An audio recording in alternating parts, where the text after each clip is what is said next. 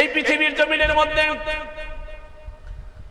আল্লাহ রব্বুল আলামিন আমাদেরকে নসিবি সূত্রে মা এবং বাবার মাধ্যমে আল্লাহ রব্বুল আলামিন প্রেরণ করে দিয়েছেন। এর কারণ হলো আমরাও হলাম মানুষ্য জাতি আমরা হলাম মানব জাতি। এই পৃথিবীর জমিনের ভিতরে মা বাবার মাধ্যমে দুনিয়ার জমিনের মধ্যে আসেছি, কিন্তু বাবার চেয়ে মায়ের কষ্ট বেশি, বাবার চেয়ে মা বেশি বেশি করে কষ্ট গ্রহণ করে।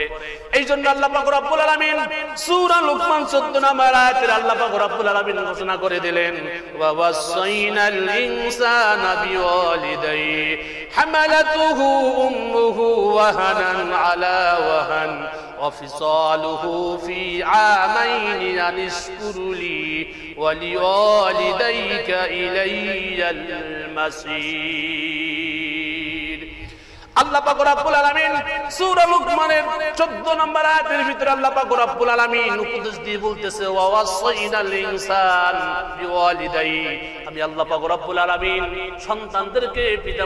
সাথে সদ্ব্যবহার করার জন্য উপদেশ দিয়েছি।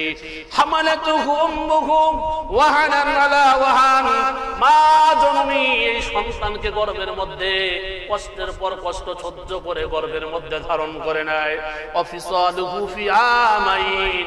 একজন মা, একটা সদ্য প্রসূত সন্তানকে দুই বছর পর্যন্ত বুকের দুধ পান করায়, জোরে জোরে বলেন সুবাহান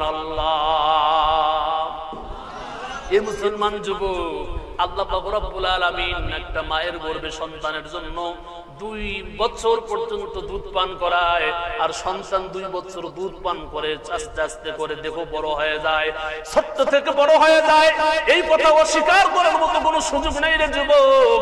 যেই মা দুই বছর পর্যন্ত বুকের দুধ কয়ে মা জননী মানুষ করেছে, মা জননী কষ্ট করে নিজে না খেয়ে সন্তানকে খাওয়াইছে মা জননী খাইতে বসেছে, সন্তান কোলের মধ্যে পোশাক পায়খানা করে দিয়েছে।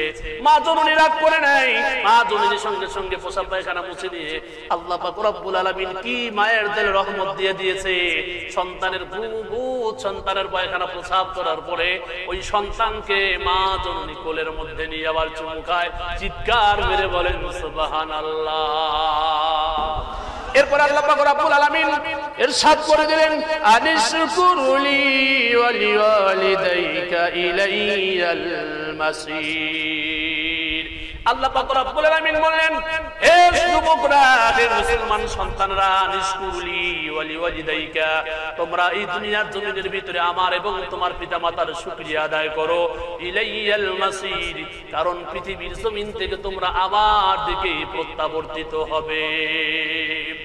আল্লাহ আল্লাহর শুক্রিয়া আদায় করার জন্য বললেন, তারপরে পিতামাতার কৃতজ্ঞতা প্রকাশ করার জন্য বললেন, পিতামাতার সাথে সদ্ব্যবহার করার জন্য বললেন, বন্ধুরা আমার এই জন্য আল্লাহ আলমিন চব্বিশ নম্বর ভিতরে বর্ণনা করে দিয়েছেন, আল্লাহ পাক সেখানেও বলে দিয়েছেন, আমার এবাদত বন্দী করার পরে দুনিয়ার জমিনের ভিতরে পিতা মাতার সাথে তোমরা সদ্ব্যবহার করবা পিতা মাতার তোমরা আনুগত্য করবা। তাহলে এই পৃথিবীর জমিনের মধ্যে আল্লাহ পাকুর আব্বুল আলমিনের এবাদত বন্দী করার পরে দুনিয়ার জমিনের মধ্যে যার সাথে সদ্ব্যবহার করব, যার সাথে আমরা সদ আচরণ করব এবং যার জন্য দোয়া করব, কৃতজ্ঞতা প্রকাশ করব, তারা হলো এই পৃথিবীর দুনিয়ার জমিনের মধ্যে মা এবং বাবা। চিৎকার মেরে বলেন, সুবহানাল্লাহ। সম্মানিত উপস্থিতি পিতামাতার সাথে সদ্ব্যবহার করতে হবে, পিতামাতার সাথে সদাচরণ করতে হবে।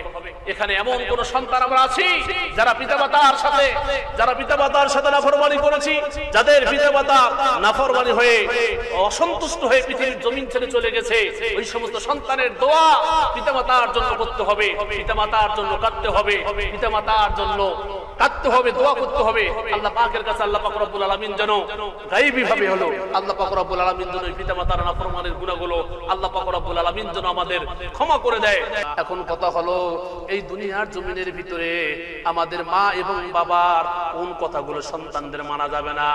আল্লাহ সুবহানাহু ওয়া তাআলা সূরা লুকমানের 15 নম্বর আয়াতের ভিতরে ইরশাদ করে দিলেন, ওয়া ইন জাহা জাহা জাহাদাকা أن أن تشرك بي ما ليس لك به علم فلا تطعهما وصاحبهما في الدنيا معروفا আল্লাহ পাক রব্বুল আলামিন জানাই দিয়ে দিলেন যদি তারা উভয়ে তোমার উপর প্রচেষ্টা চালায় যেন তুমি আমার সমকক্ষ দাঁড় করাও তেমন বস্তুকে যে সম্পর্কে তোমার কোনো জ্ঞান নেই, তবে তাদের কথা মান্য করো না।